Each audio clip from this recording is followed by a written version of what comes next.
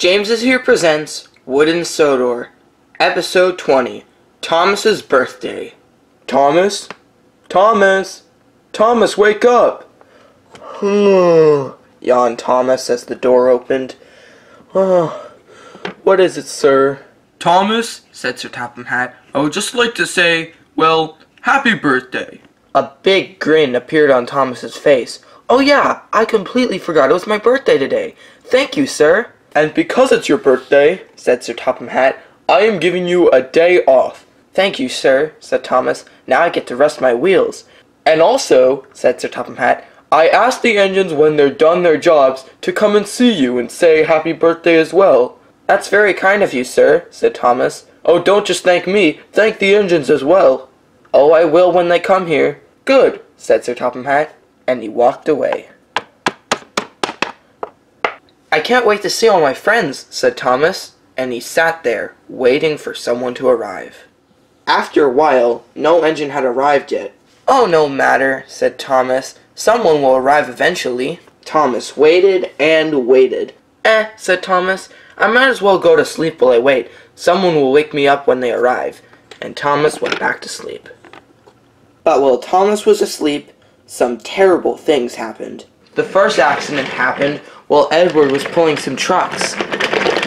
At the docks, Henry was pushing a truck.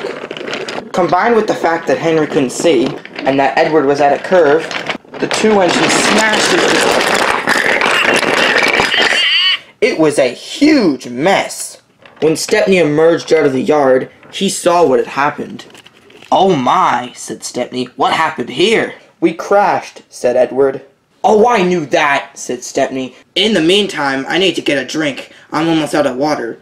But Edward and Henry had blocked the water tower. Oh, bother, said Stepney. I can't get a drink. Stepney moved forward. Maybe I can get through. But the truck was completely blocking the track. Then Stepney ran out of water. Oh, bother, said Stepney. Then, seemingly out of nowhere, Gordon crashed with the express. Luckily, the coach was empty, but Gordon felt terrible, even if it wasn't his fault. Then came James. He was singing to himself. And since he was singing to himself, he wasn't paying attention. La la la la la la la la Now James was in the pile. Then Thomas woke up. Huh, he yawned. Uh, is there anyone here? He said.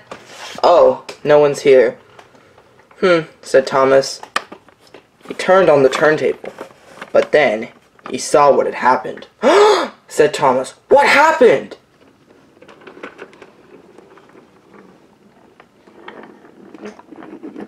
Stepney, what happened? Oh, there was a, um, a, a, a bit of a collision. Please, go get the breakdown train. But it's my birthday, said Thomas. Sir Topham Hatt said I have to have a day off.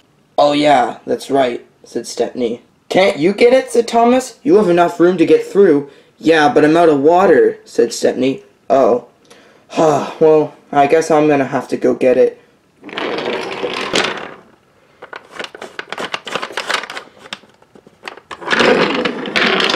Soon Thomas came back with the breakdown train. Ah, this reminds me of the day I got my branch line when I saved James. Oh, don't remind me, said James. Anyways, said Thomas, I have a job to do.